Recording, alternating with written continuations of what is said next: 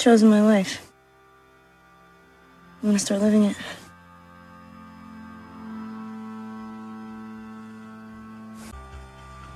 This wasn't a choice. It was between who I should be and who I am. I've always felt out of step. Like literally stumbling through my life. I've never felt normal. Because I'm not normal. I don't want to be. I've had to face death and loss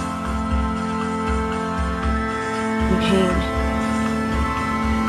in your world, but I've also never felt stronger.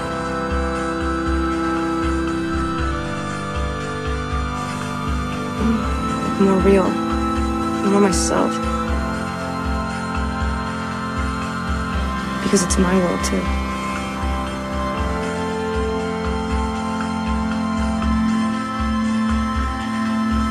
It's where I belong. I've made a mess trying to figure all this out, but I'm gonna do it right.